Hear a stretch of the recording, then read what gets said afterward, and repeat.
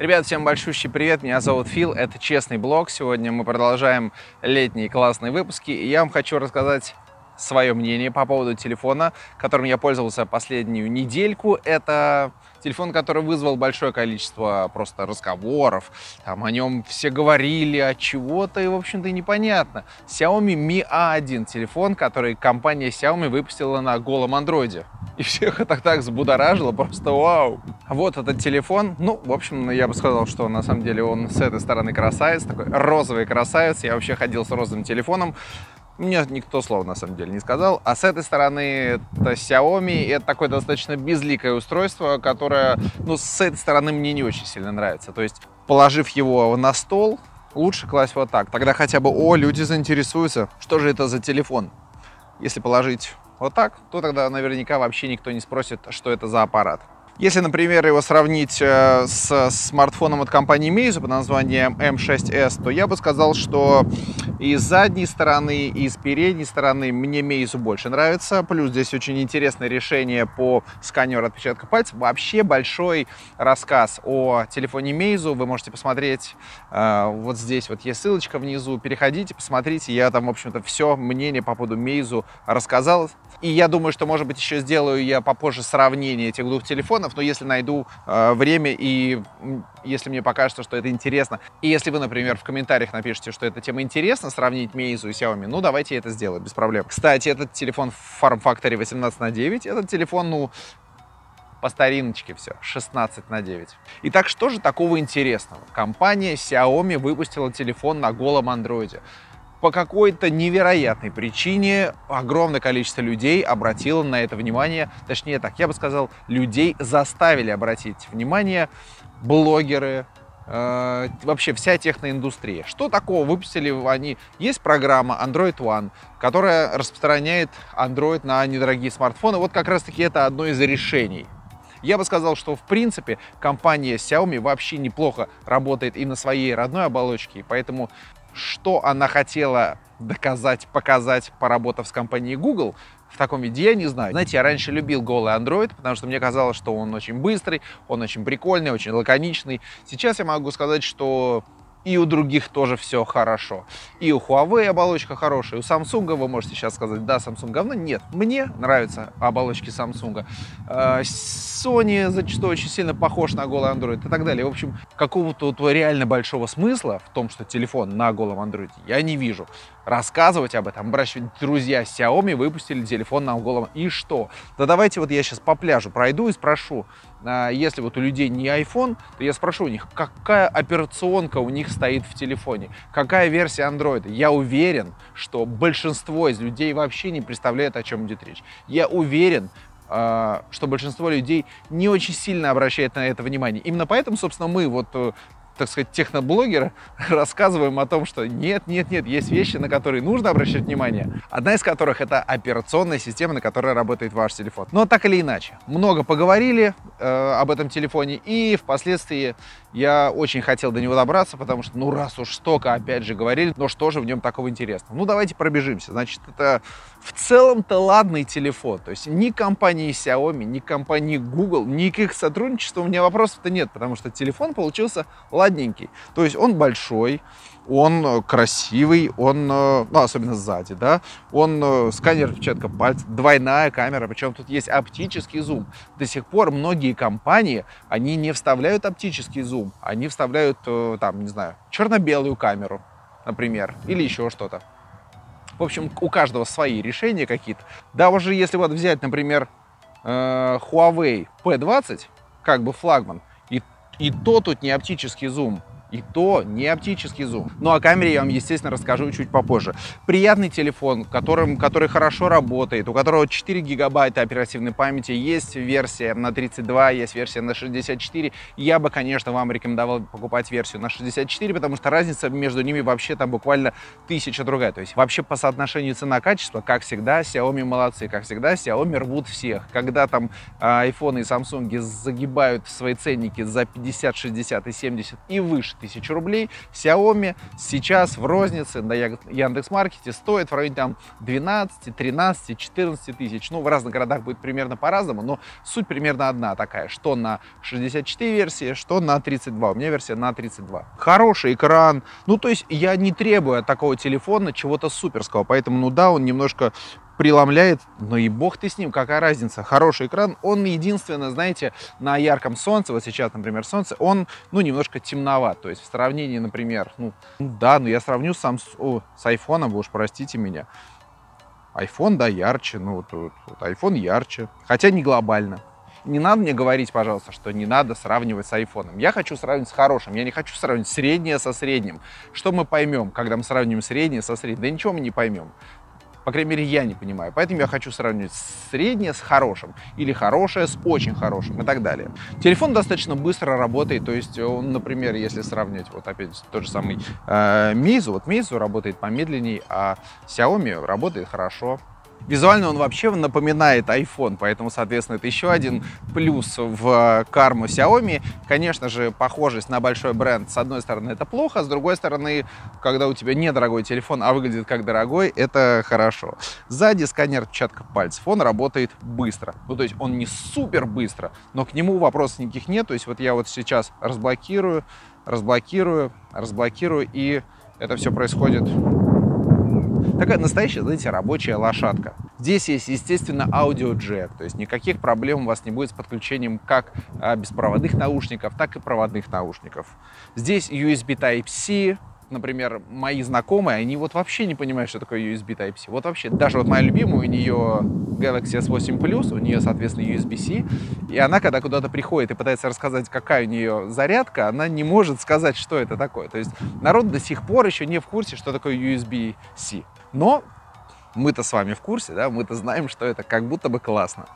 Как будто бы это быстро, как будто бы это более современный и так далее. 1920 на 1080, ну еще расскажу, к экрану вообще вопросов никаких нет, все здесь хорошо. Корпус, ну тоже все очень хорошо, мне нравится, он не поцарапался за то время, пока я его носил, я его носил без чехла, то есть, ну здесь все хорошо, очень аккуратно выведены антенны спереди, сзади, сверху, снизу. единственное, что я бы сказал, что э, не всегда хороший прием. Вы часто спрашиваете, а какой там прием? И я так всегда думаю, ну что же вам ответить? Да телефон как телефон. Здесь я прям обратил внимание, что не всегда хороший прием. Бывает 4G просто вылетает, вообще отключается сеть, потом возвращается. Это все происходит мгновенно, но я вижу, что прям бац, индикатор моргает туда-сюда. Поэтому, друзья, обратите на это внимание. Большой проблемы в этой нет, но как бы такой небольшой пунктик, вот такой маленький камушек в огород Xiaomi такой богатый овощами и фруктами огород. То, что, ну, телефон на самом деле богатый. Давайте послушаем, как звучит этот телефон. Сравнивать буду еще раз. Я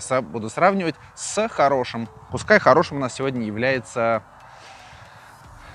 Huawei P20. Он, кстати, звучит немножко похуже, чем Galaxy S9. Э, опять же, посмотреть вы большой обзор про Huawei P20 можете внизу, ссылочка есть. Welcome. Итак, на плеере Power Amp мы слушаем одну и ту же композицию. Я сейчас постараюсь вам показать, чтобы вы услышали.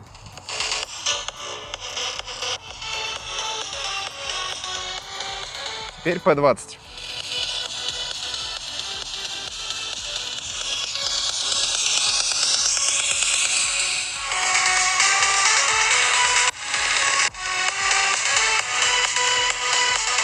Ну, вы знаете, вот так вот по звуку я бы даже сказал, что особо-то разницы и нету между Huawei P20, который стоит полтинник, ну ладно, полтинник, 44, окей, и телефоном, который стоит 12 тысяч, Xiaomi Mi A1. Давайте теперь послушаем, как в наушниках звучит музыка, потому что это важно.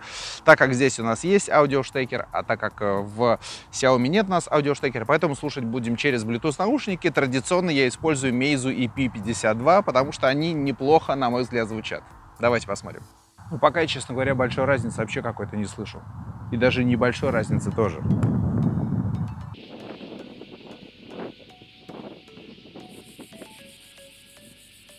Вот вы знаете, врать не буду. На мой взгляд, они звучат примерно одинаково. Что Mi A1, что Huawei P20.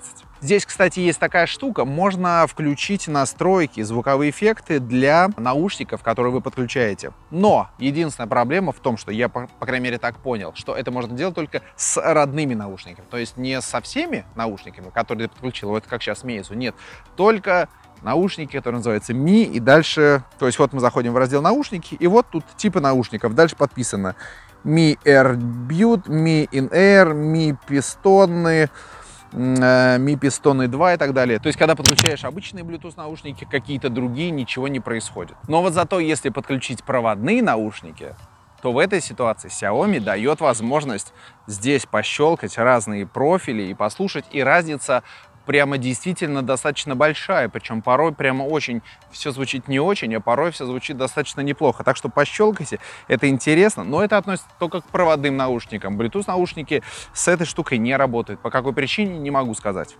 Единственное, плохо, что тут нет, в принципе, встроенного эквалайзера, которым ты мог бы сам бы что-то покрутить, если тебе хочется, например, побольше басов или по, поменьше верхов, чтобы сам все сделать как хочется. Пару слов по поводу системы. Конечно же, смартфоны, которые находятся на базе голого андроида, они самыми первыми, как всегда, получают обновления. Это их плюс. Но опять же, для тех, кому это интересно. Всем остальным просто без разницы, чего там происходит с этой операционной системой. Кстати, здесь стоит не последняя версия операционки. Здесь стоит 8.0.0, а не 8.1, например. К системе вопросов никаких нет. Я еще раз скажу, что все достаточно шустро. Здесь даже есть э, режим двойного экрана. То есть можно сверху смотреть э, ютубчик, а снизу, например, переписываться с кем-то а, в WhatsApp или еще чем-то заниматься. То есть э, это удобно. Единственное, что не очень понятно, как это делать, потому что если ты... Ну, ладно, я примерно представляю, что можно зажать приложение, переместить его наверх и внизу добавить еще одно приложение, тогда это будет работать. Но если ты не знаешь об этом, то, скорее всего, ты сам -то так просто никогда до этого не дойдешь, если тебе кто-то об этом не подскажет. Так что, друзья, пользуйтесь. Если вы не знали, как сделать, чтобы на одном экране у вас было два приложения, вуаля, все это работает здесь. Еще расскажу, что к системе вопросов никаких нету, она работает хорошо. И так как это голый Android, соответственно, тут, ну, в принципе, очень небольшое количество каких-то особенностей, очень небольшое количество каких-то своих фишек. Так что, ну, я бы сказал, что от него и навряд ли вот ждали, потому что люди, которые хотели телефон на голом андроиде, они понимали, что они идут туда, где ни хрена нету. Просто все очень быстрое. Ну, у Xiaomi вообще, я бы сказал, со скоростью и так особо проблем не было. Ну, из приятных вещей, которые мне нравятся, здесь есть, здесь есть возможность восстанавливать размер шрифта и выставлять масштаб экрана. То есть, чтобы не только сам шрифт уменьшался, а все остальное оставалось гигантским. Нет, все остальное тоже становится небольшим. Мне это нравится. Само меню настроек выглядит э, достаточно аскетично, потому что тут, ну, очень мало всего. То есть, по сравнению, например, с Huawei и Samsung, здесь, ну, голый Android. Что с него взять? Даже вот некуда зайти, чтобы ну, что-то хоть интересное показать. Возможно, они могли бы сделать, например, на экранные клавиши, но нет, здесь только клавиши внизу, которые реагируют на прикосновение. Возможно, кстати, можно как-нибудь вывести клавиши на экран. Я, честно говоря, этого не нашел, но, как всегда, люди, которые смотрят э, такие видео, они порой знают больше, поэтому, если вы знаете, как вывести клавиши на экран э, навигации, сообщите об этом. Далеко не во всех телефонах есть возможность э, перевернуть телефон в горизонтальный режим, и он здесь будет работать в горизонтальном режиме. На экране блокировки есть вся необходимая информация, все уведомления. Можно сразу отсюда на что-нибудь ответить, посмотреть и так далее. Вы знаете, э, телефон настолько вот хороший по большому счету, что о нем и нечего сказать, потому что он хороший. Давайте поговорим про камеру и, как всегда, для того, чтобы вам рассказать об этом, мы переместимся в мою студию к ноутбуку, перед которым я сижу и детально уже рассмотрю все фотографии и дам вам свое мнение. Единственное, скажу пару слов о камере, потому что здесь стоит, во-первых, приложение не гугловское, и все по этому поводу очень сильно переживали, типа, ну как так? Поставили Xiaomi свое приложение, оно не такое классное. В целом я соглашусь, потому что говорят, я лично не пробовал, потому что я посмотрел на эту инструкцию, говорят, что если поставить Google камеру сюда, вот такой хороший, правильный порт Google камеры, то и HDR Plus будет хорошо работать, и камера вообще будет давать хорошие, в принципе, фотографии, то есть лучше, чем стоковые. Но, знаете, я посмотрел смотрел на эту инструкцию, Э, возможно, вам кому-то э, удастся ее осилить. Мне она показалась очень тяжелой. Если у меня получится, я сейчас пока еще не знаю, если получится, я вот внизу ссылочку укажу на нее, вы там посмотрите, если я найду ее. Но она действительно очень тяжелая.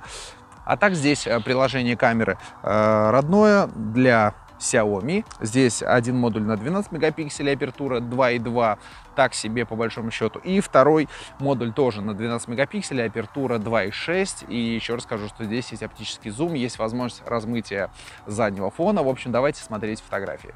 Фронтальная камера, кстати, на 5 мегапикселей. Так как все в этом мире познается в сравнении, поэтому мы сегодня сравним камеру э, Mi 1 с флагманами. Да, почему бы и нет. Здесь у нас будет периодически меняться, то у нас iPhone 10 будет, то здесь Galaxy S9, то P20. Здесь у нас будет всегда Mi 1. Почему я сравниваю с флагманами? Да потому что именно в сравнении с флагманами понятно, насколько эта камера хороша или не очень хороша, или вообще никакая. Потому что если бы здесь рядом был бы какой-нибудь подобный этой камере телефон, то нам бы не было понятно, насколько это хорошо или плохо. Мы просто его увидели, ну да, какая-то фотография. Хорош, хорошая она по сравнению с крутыми камерами или нет, было бы непонятно. Поэтому я сравниваю с топами. Итак, самые обычные фотографии. Что мы делаем, когда мы выходим на улицу? Мы фоткаем природу. Итак, фотография заката. Мы сразу видим, что здесь на 10 айфоне закат получился неплохим, а здесь получился пересвет. А вот если увеличить и посмотреть на уровень детализации, то в целом детализация на Mi 1, ну, по большому счету, похожа на 10 iPhone. То есть, да, есть пересвет, да, здесь проблема, но в целом и трава, и вода, и вот фон по детализации все хорошо. После заката решили сфоткать дома. Здесь у нас теперь Galaxy S9. Визуально картинки примерно одинаковые. Давайте увеличивать. Вы видите, что получается? Это просто фантастика. Детализация на Galaxy S9 хуже, чем на A1. Представляете? Galaxy S9 детализация еще раз хуже, чем на A1. Это просто что-то. После природы фоткаем ребенка дома. Ребенок это вообще, ребенок в кадре это вообще одна из самых страшных вещей, которые можно представить, потому что он вечно дергается. Тем более еще в портретном режиме. Ну, что у нас получилось? Здесь уже iPhone 10. Вот так вот, если визуально посмотреть, то я вижу только, что здесь больше шумов на черном фоне, здесь шумов поменьше. Ну и лицо более фактурное, цвета чуть-чуть поярче, чем на А1. Давайте увеличивать. Увеличивая, видно, что ну, с черным цветом точно что-то не заладилось, потому что тут все очень в шумах. Но если посмотреть на само лицо, то в целом оно, ну, не то, что прямо примерно одинаковое. Все-таки на айфоне поинтереснее выглядит, но в целом, ну, неплохо.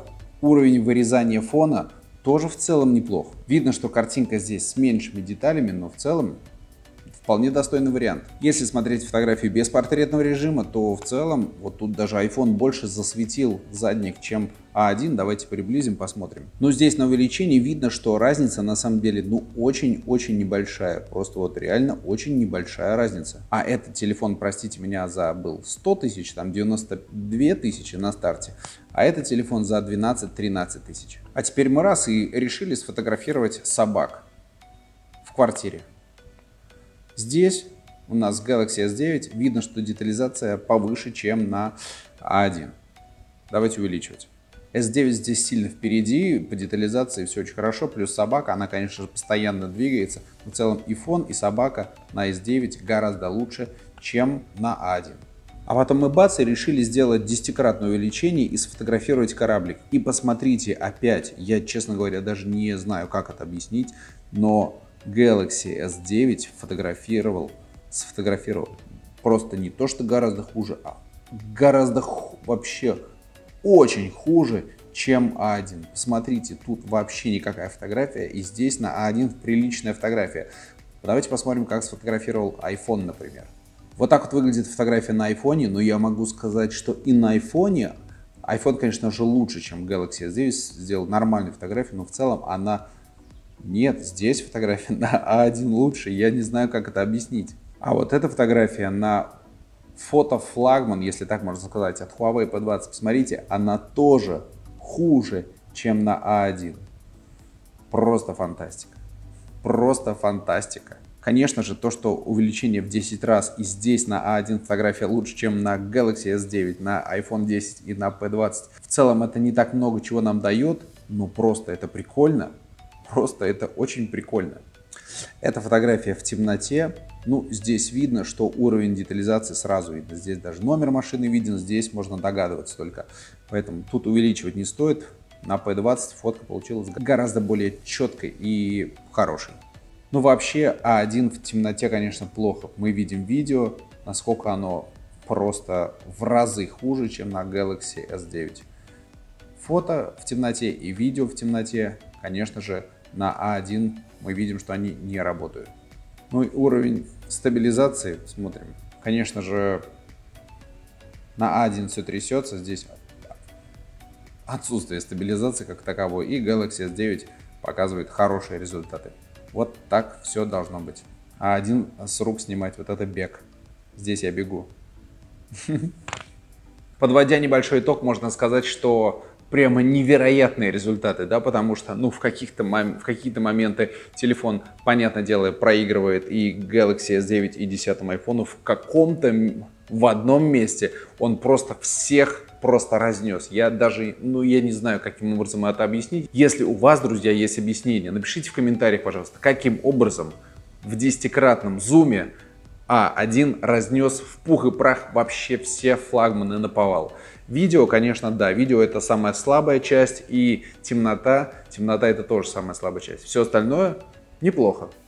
Батарея, друзья, батарея здесь на 3080 мАч, и э, я бы сказал, что она неплохая. То есть она не супер, и он у меня не доживал до вечера, но она в целом неплохая. То есть свои 4-5 часов при использовании в день оно, она выдает. Вы знаете, я тут столкнулся с одним комментарием, одна девушка, по-моему, написала, да у меня телефон работает 12 часов. Еще раз хочу обратить внимание, что, ну, для тех, кто, может быть, не знает, что э, в большинстве своем, или может так, так принято измерять крутость работы батареи телефона по тому количеству времени, сколько работал экран в течение дня. То есть вы в 7 утра, предположим, сняли телефон с зарядки, все, дальше им ходите, и потом вечером, часов 8, может быть, когда у вас осталось 5%, вы заходите в режим батареи, в режим аккумулятора, и смотрите статистику. Статистика показывает, куда ушла ваша электроэнергия.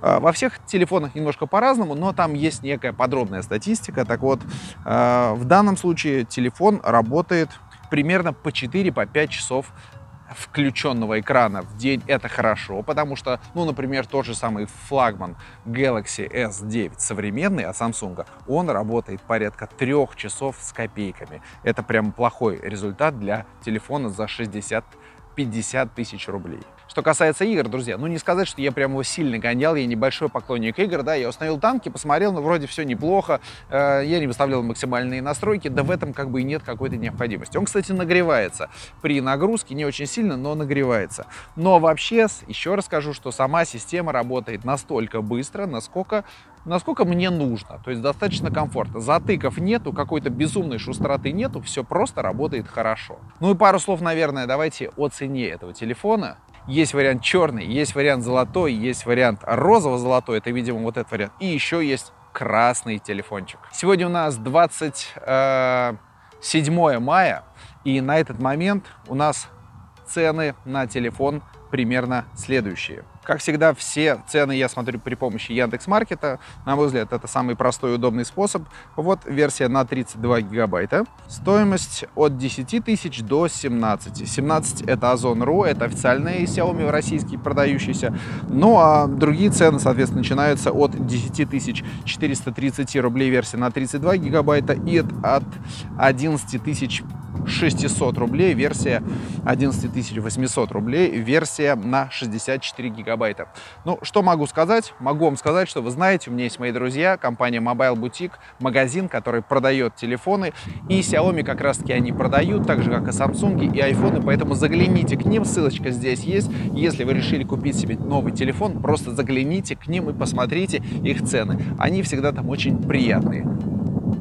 Так что смело могу вам рекомендовать моих друзей Mobile Boutique. Что мы в итоге имеем? Мы имеем телефон, который хорошо выглядит, у которого нет влагозащиты, который э, быстрый, э, с неплохой камерой, э, сканер отпечатка пальцев, есть портретный режим, он большой, с него удобно читать.